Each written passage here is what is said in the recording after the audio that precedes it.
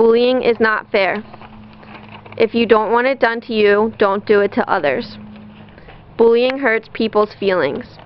It hurts your self-esteem.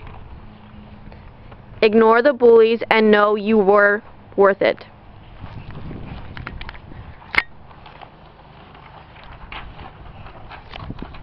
Be a buddy, not a bully.